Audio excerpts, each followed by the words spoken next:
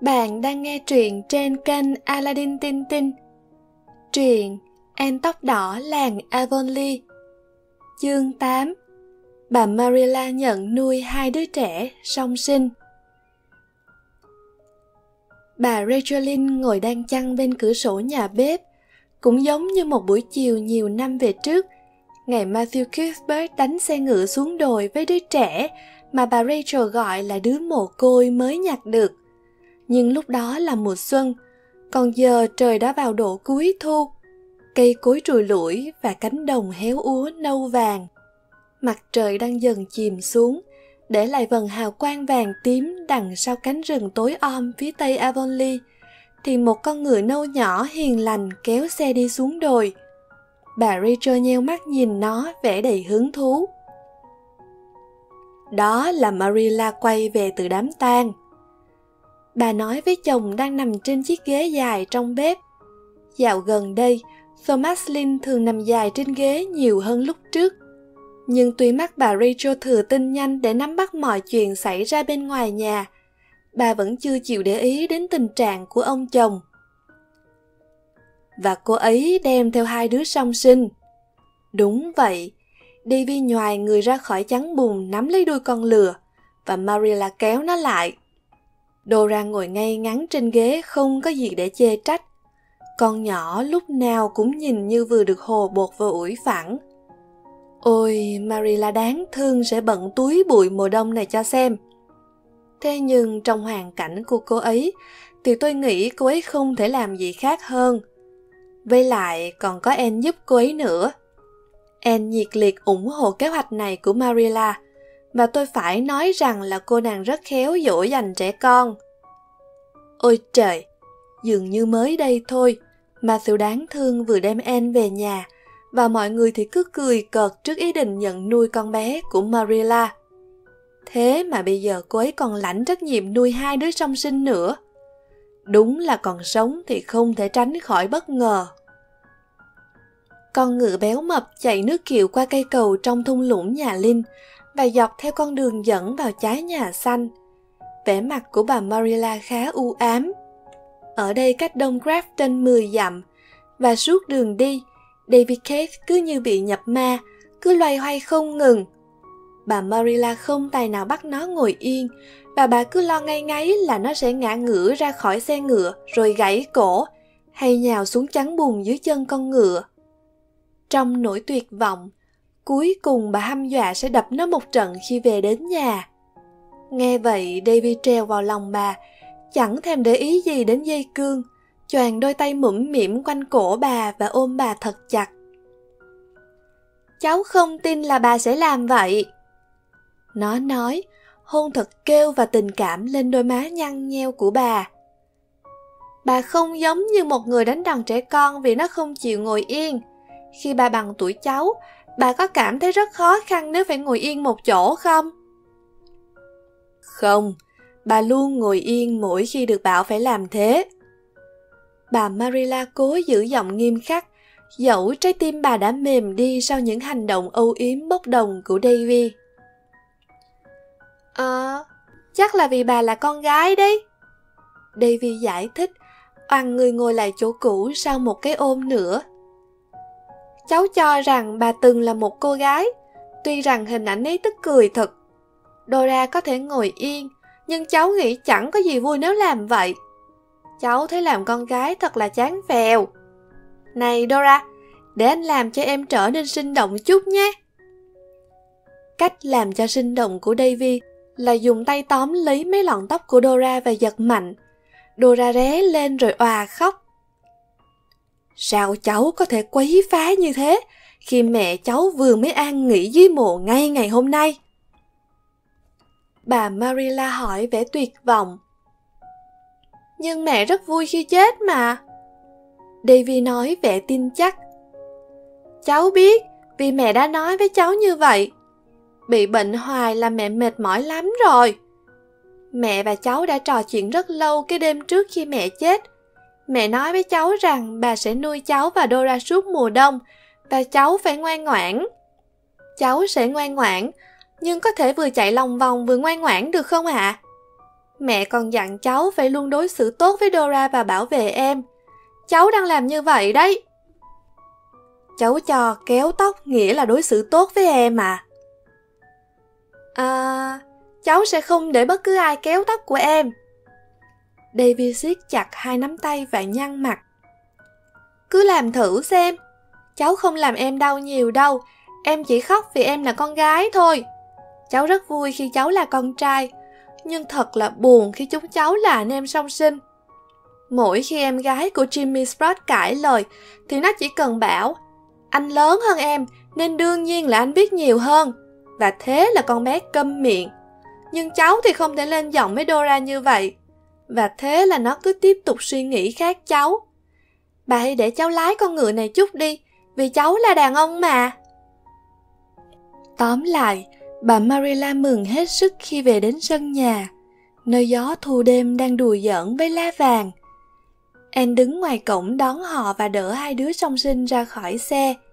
Dora bình thản cho phép cô hôn, nhưng Davy ôm chặt lấy Anne thay lời chào và vui vẻ tự giới thiệu. Cháu là ông Davy Cave. Trên bàn ăn tối, Dora cư xử như một quý cô bé nhỏ, nhưng hành vi của Davy thì cần phải sửa đổi nhiều. Cháu đói bụng quá nên không có thời giờ ăn lịch sự. Nó nói khi bị bà Marilla nhắc nhở. Dora đói chưa tới một nửa của cháu. Cứ xem những chuyện cháu đã làm trên đường đến đây đi. Bánh ngon tuyệt và có nhiều mận khô thật. Lâu lắm rồi chúng cháu không được ăn bánh vì mẹ bệnh quá chẳng làm bánh được. Còn bà Sprott nói chỉ làm bánh mì cho chúng cháu thôi cũng đã mệt chết rồi. Và bà Wiggins thì chẳng bao giờ bỏ mần vào bánh của bà ấy cả. Cháu đã bắt gặp tận mắt. Cháu ăn một miếng nữa nhé. Bà Marilla định từ chối, nhưng em cắt cho thằng nhóc một lát bánh to đùng. Dù sao thì cô cũng nhắc Davy rằng nó phải nói cảm ơn. Davy chỉ nhăn răng cười với cô, rồi ngoạm một miếng to đùng. Sau khi đã ăn sạch sẽ, nó nói Nếu cô cho cháu một miếng nữa, cháu sẽ nói cảm ơn cho miếng đó. Không, cháu đã ăn nhiều bánh lắm rồi. Bà Marilla nói với giọng dứt khoát mà em đã quá quen, nhưng Davy thì còn phải học dài dài. Davy nháy mắt với Anne, rồi chồm qua bàn giật lấy lát bánh đầu tiên của Dora ra khỏi tay cô bé.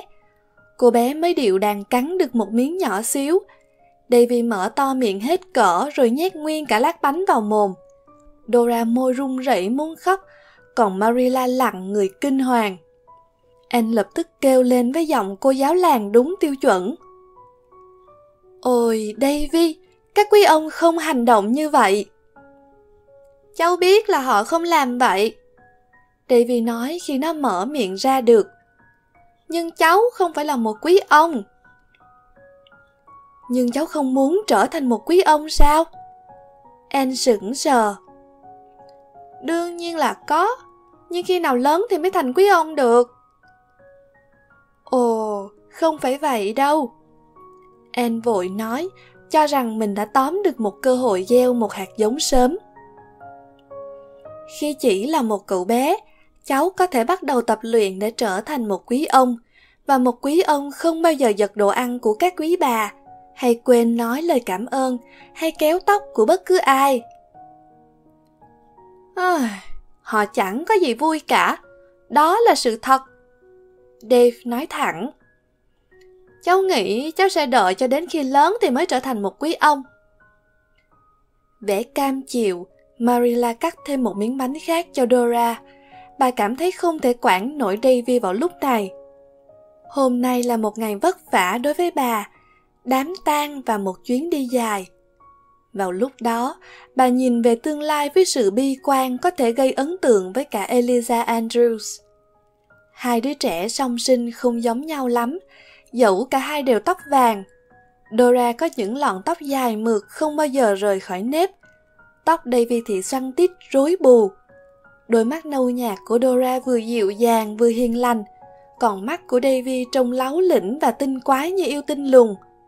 Mũi Dora thẳng, còn mũi Davy thì hết lên trời. Dora có một cái miệng nhỏ nhẹ ổng ẹo, còn Davy lúc nào cũng tươi cười, Và hơn nữa, nó có một lúm đồng tiền ở một bên má, nhưng má bên kia thì chẳng có gì. Vì vậy, mỗi khi cười, khuôn mặt của Davy không cưng xứng một cách đáng yêu và buồn cười. Sự tinh nghịch và phá phách hiện rõ ở mỗi ngóc ngách trên khuôn mặt bé nhỏ của nó. Đến giờ ngủ rồi. Bà Marilla nói, cho rằng đó là cách dễ dàng nhất để thoát khỏi hai đứa trẻ. Dora sẽ ngủ với bác cháu ta, còn Davy ngủ ở trái tây. Cháu không sợ ngủ một mình phải không, Davy? Không, nhưng còn lâu lắm cháu mới đi ngủ. Davy thoải mái đáp. Ồ không, cháu phải đi ngủ bây giờ. Bà Marilla đã bị nó qua mặt nhiều lần, nhưng có gì đó trong giọng nói của bà lần này khiến cho cả Davy cũng phải co vòi. Nó lóc chóc chạy lên lầu với Anne một cách ngoan ngoãn. Khi nào lớn, chuyện đầu tiên cháu làm là thức suốt đêm, để xem xem thức suốt đêm là thế nào. Davy tiết lộ. Những năm sau đó, mỗi lần nghĩ tới tuần đầu tiên hai đứa trẻ sinh đôi đến ở trái nhà xanh, bà Marilla không khỏi rùng mình. Nói thế không phải là mọi chuyện tốt hơn ở những tuần tiếp theo, nhưng ít nhất thì nó cũng không còn gây sốc cho bà nữa. Hiếm có phút nào trong ngày mà Davy không nghịch phá hay bày trò nghịch phá. Nhưng chiến tích đáng kể đầu tiên của nó xảy ra hai ngày sau khi nó đến trái nhà xanh. Một sáng chủ nhật, trời đẹp và ấm, mù sương và dễ chịu như một ngày tháng 9. Anne đóng bộ cho nó để đi nhà thờ trong khi bà Marilla lo cho Dora. Ban đầu Davy cương quyết phản đối không để cho cô rửa mặt cho nó. Bà Marilla đã rửa hôm qua rồi. Bà Wiggins thì dùng xà phòng cứng chà mặt cháu hôm đám tang. Thế là đã đủ cho một tuần rồi. Sạch sẽ thì chẳng có gì hay. Cháu thấy thế. Ở giờ thoải mái hơn nhiều. Paul Irving tự rửa mặt mỗi ngày đấy. Anne khéo léo khích tướng. Davy chỉ mới trở thành cư dân của trái nhà xanh hơn 48 tiếng đồng hồ một chút – nhưng nó đã tôn thờ Anne và căm ghét Paul Irving. Nó đã nghe Anne khen cậu ta rối rít ngay hôm sau ngày nó đến. Nếu Paul Irving rửa mặt mỗi ngày, thế thì đành vậy. Nó, David Keith cũng sẽ làm được, dẫu có phải rửa mặt đến chết cũng chẳng sao. Với suy nghĩ tương tự, nó ngoan ngoãn tuân theo mọi yêu cầu vệ sinh cá nhân khác, và khi xong việc, nó trở thành một cậu bé con thật bảnh trai. Anne cảm thấy thật tự hào như một người mẹ khi dắt nó vào chỗ ngồi dành riêng cho nhà Cuthbert. Ban đầu thì Davy cư xử khá tốt, bận biểu liếc nhìn tất cả những thằng nhóc khác trong tầm mắt và đoán xem Paul Irving là đứa nào. Hai bài thánh ca và đọc thánh kinh trôi qua không có gì đáng nói. Ông Alan đang cầu nguyện thì có náo động xảy ra. Loretta White ngồi ngay phía trước Davy. Cô bé hơi cúi đầu, mái tóc vàng được tết thành hai bím. Ở giữa là khoảng gáy trắng ngần và cổ áo viền đăng ten đầy mời gọi. Loretta mới 8 tuổi, hơi mũm mỉm và vẻ mặt hiền lành. Cư xử ngoan ngoãn hết chỗ chê kể từ ngày đầu tiên được mẹ dẫn tới nhà thờ. Khi đó cô bé mới 6 tháng tuổi. David thọc tay vào trong túi móc ra một con sâu lông lá đang dãy dụa. Bà Marilla nhìn thấy và chộp lấy thằng nhóc, nhưng đã quá muộn. david thả con sâu vào cổ của Loretta. Ngay giữa bài cầu nguyện của mục sư Alan, một tiếng thét chói tai vang lên. Viên mục sư ngơ ngác dừng lại và mở mắt. Mọi mấy đầu trong giáo đoàn đều ngẩng lên. Loretta White nhảy tưng tưng trong dãy ghế, hốt hoảng giữ chặt đằng sau váy. Ui mẹ ơi mẹ, bắt nó ra, bắt nó ra. Thằng xấu đó nó bỏ vào trong gáy con. Ôi mẹ ơi, nó đang bò xuống. Bà White đứng lên, mặt nghiêm nghị kéo Loretta đang hoảng loạn và quằn quại ra khỏi nhà thờ. Tiếng thét của cô bé nhỏ dần và ông Allen lại tiếp tục cầu nguyện. Nhưng mọi người đều cảm thấy buổi cầu nguyện hôm đó đã thất bại. Lần đầu tiên trong cuộc đời bà Marilla không để ý gì đến lời của mục sư. Bà Anne mặt đỏ bừng vì xấu hổ. Khi về đến nhà, bà Marilla đẩy Davy vào phòng ngủ và bắt nó ở trong đó suốt phần còn lại của ngày. bà không cho nó ăn trưa mà chỉ cho phép uống một ly sữa và bánh mì suông. Anh bưng thức ăn lên cho nó và buồn bã ngồi xuống bên cạnh trong khi nó ăn ngấu nghiến, chẳng chút hối hận gì. Nhưng đôi mắt trách móc của Anne làm nó không yên lòng. Cháu chắc là... Nó trầm ngâm. Thằng Paul Irving sẽ không bao giờ bỏ sâu vào gáy của con gái trong nhà thờ, phải không? Quả thực là bạn ấy sẽ không làm vậy. Anne buồn bã đáp. Ờ, vậy thì cháu cũng có chút hối hận vì đã làm vậy. Davy nhượng bộ. Nhưng con sâu đó thật là ngon mắt. Cháu bắt nó từ bậc thềm nhà thờ khi chúng ta bước vào. Lãng phí nó thì thật là tiếc. Và chẳng phải nghe đứa con gái đó gào thét thì rất là vui sao? Chiều thứ ba, hội từ thiện tụ họp tại trái nhà xanh. Anne vội vàng đi từ trường về nhà vì cô biết bà Marilla rất cần giúp đỡ. Dora sạch sẽ và ngoan ngoãn trong bộ váy trắng hồ bột xinh xắn và khăn choàng đen ngồi chung với thành viên của hội từ thiện trong phòng khách. Từ tốn trả lời mỗi khi được hỏi, im lặng khi không ai gọi và cư xử như một đứa trẻ gương mẫu trong mọi hoàn cảnh. Davy lem luốc một cách sung sướng, đang làm bánh bùn ở sân kho. Bác đã cho phép nó. Bà Marilla mệt mỏi thốt. Bác nghĩ nó sẽ không dở trò nghịch phá tồi tệ hơn. Ít nhất như vậy thì nó chỉ bị bẩn thôi. Chúng ta sẽ uống trà trước rồi mới gọi nó vào ăn.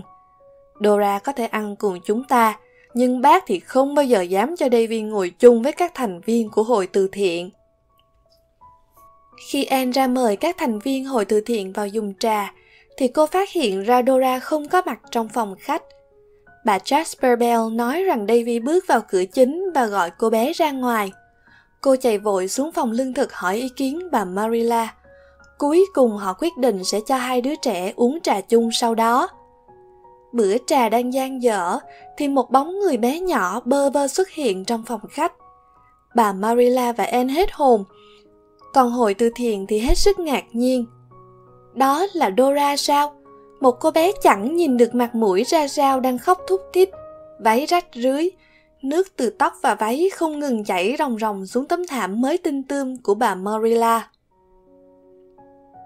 Dora, có chuyện gì vậy cưng? Anne kêu lên, liếc sang bà Jasper Bell có vẻ có lỗi. Gia đình của bà ta nghe đồn là gia đình duy nhất trên thế giới, chưa hề xảy ra một chuyện không mong muốn nào. Đây vì bắt cháu đi trên hàng rào chuồng lợn. Dora kể lễ. Cháu không muốn đi, nhưng anh ấy gọi cháu là đồ nhát gan, rồi cháu ngã vào chuồng lợn. Váy bị dơ và lợn dẫm lên người cháu. Váy của cháu tơi tả rồi, nhưng Davy nói nếu cháu đứng dưới vòi nước thì anh ấy sẽ rửa sạch cho. Cháu nghe theo, anh ấy xịt nước đầy người cháu, nhưng váy cháu chẳng sạch hơn chút nào. Khăn choàng và giày đẹp của cháu bị hư hết rồi. Em nhận vinh dự chủ trì bữa ăn trong suốt thời gian còn lại, còn bà Marilla lên lầu mặc lại áo cũ cho Dora. Davy bị túm cổ tống đi ngủ mà không được ăn tối.